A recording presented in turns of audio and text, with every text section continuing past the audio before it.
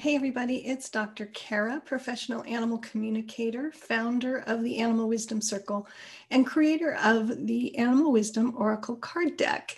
And one of the things that I love most in the world is to take my spiritual guidance from wildlife, from animals in nature.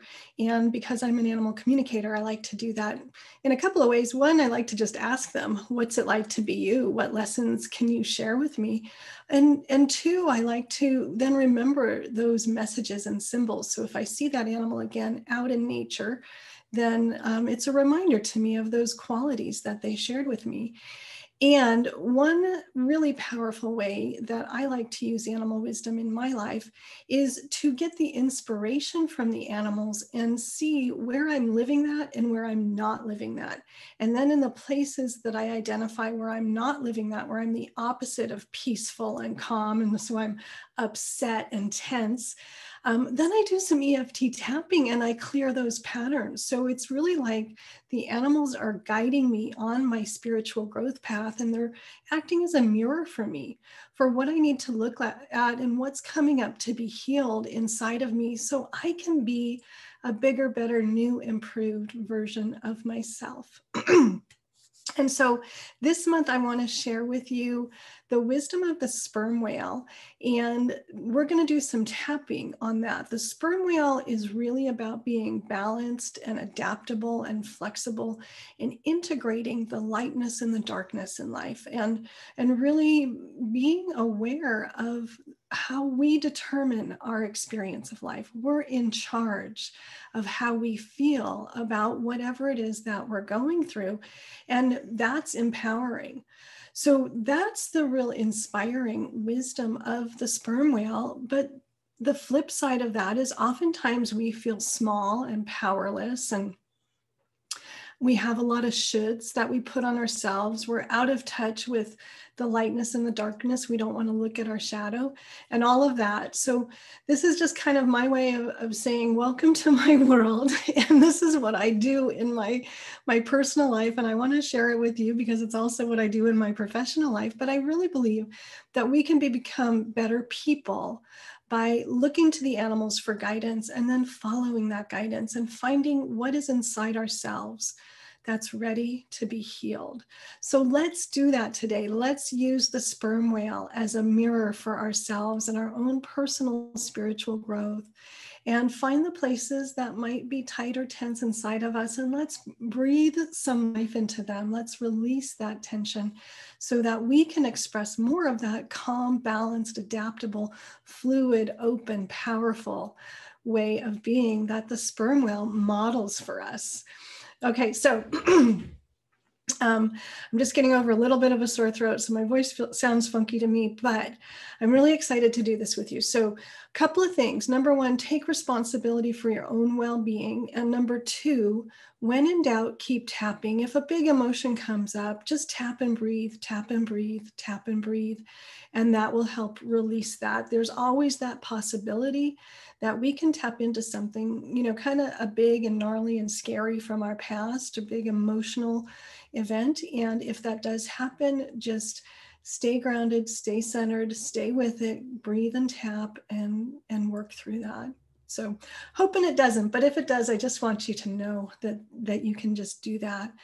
So, um, so here we go. We're going to start with tapping on the inverse of the sperm whale wisdom. So starting with a setup phrase, we're going to repeat after me. If anything that I say is not the words you would use, feel free to change it to your own words. So here we go. Even though I'm afraid to look at my shadow side, I just don't want to know what's down there. I still love and accept myself. Even though I know that sometimes I get into rigid thinking and I put a lot of shoulds on myself. But I know I can heal that today and I still love and accept myself. And one more, even though it feels like the out the authority is outside of me. Somebody out there knows better than I do. I'm reclaiming my inner power and my ability to be a leader in my own life. I know that I determine my experience and the power is within me, just like the sperm whale. And then we're going to move to the tapping points. And I apologize because it looks like my camera isn't in a good place. Let me see if I can fix that a little bit. That's a little bit better. Um, so if you, this point right here is the one that people can't see, just do your little scarecrow thing and hit the side of your ribs. Um, but the other ones you should be able to see. So we're going to move to the tapping points. All this tension in my body, all this tightness it's a manifestation of my rigid thinking, my limitations, thinking that things should be other than how they are, thinking that somebody else knows better than I do. And then here we go, scarecrow. All this tension. I realize I'm creating tension in my body by my habitual thought process. And I'm ready to change that. I'm ready to welcome new, relaxing, positive thought habits. I'm letting go of all those shoulds.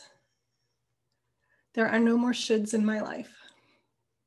I'm releasing all of that tension that comes along with shoulds. I should do this. I should do that. they should do it this way. They shouldn't do that. I'm releasing that need to boss myself and everybody else around. I'm giving up control and trying to fix every situation around me. I'm letting life unfold as it is and moving into acceptance. I'm really letting go of all these shoulds. And I'm ready to go within and see where I've been being a bully to myself, shooting on myself, not accepting myself the way that I am. I know I can be gentler, more accepting, and more loving with myself and everyone around me.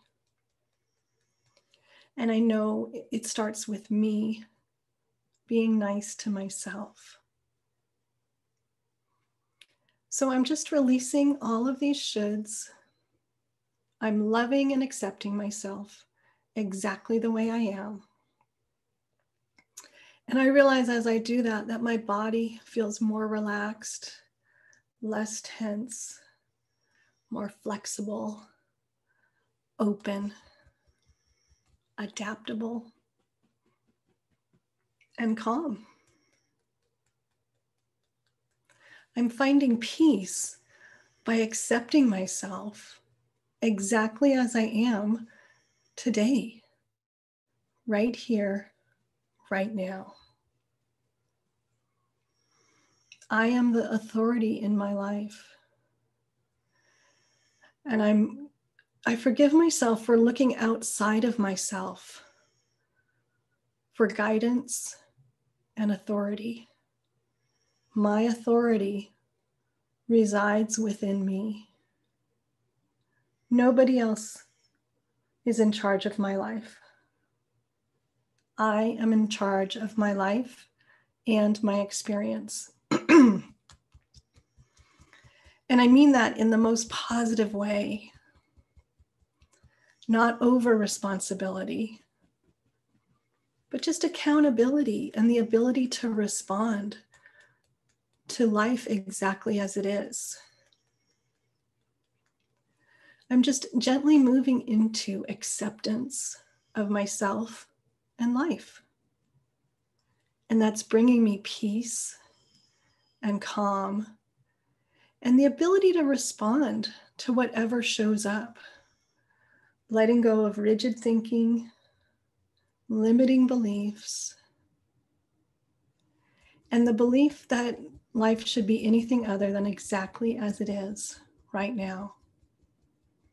How perfect is this moment?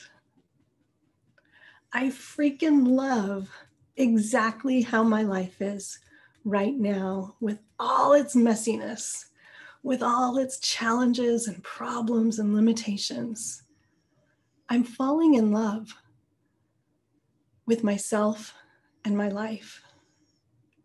And like the sperm whale, I'm ready to be big and powerful and bold, adaptable, flexible, accepting, open,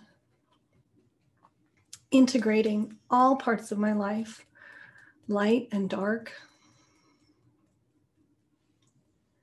and making peace with myself and making peace with what is.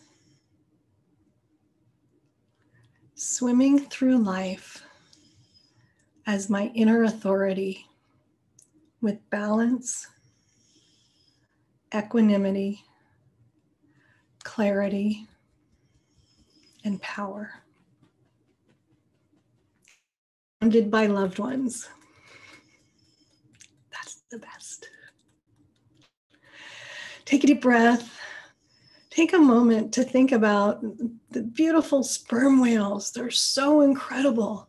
They dive so deep, they live in those really tight family groups. They rest together, they feed together, they play together. They have those amazing, intricate languages. They have these really unlikely bodies too, those little teeny pectoral fins on those huge bodies. They're just ridiculous and awesome and perfect, just like you, just like me. We're ridiculous and awesome and perfect. So I'm choosing to embrace my sperm whale nature, letting the sperm whale be a mirror for me to see what's inside of me that power, that connection, that equanimity, and that peace. Take a deep breath. Let it out. I love and accept myself, and I see the wisdom of the sperm whale inside of me and my life. And then, as you're ready, just allow that tapping to come to completion. I always like to take an extra deep breath at the end and, and take a moment to just check in with your body. How do you feel right now? What's going on physically?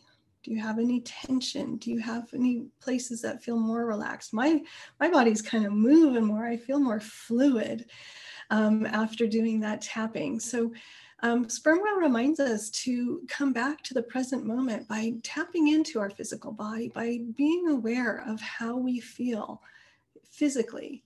And that brings us into the present moment. That's where our power resides not in the past not in the future right here right now. So um, thank you for tapping with me. And I invite you to take the sperm whale wisdom with you wherever you and remember that you are peaceful, you are the leader in your life, and you have the power. Have a great day. Bye, everybody.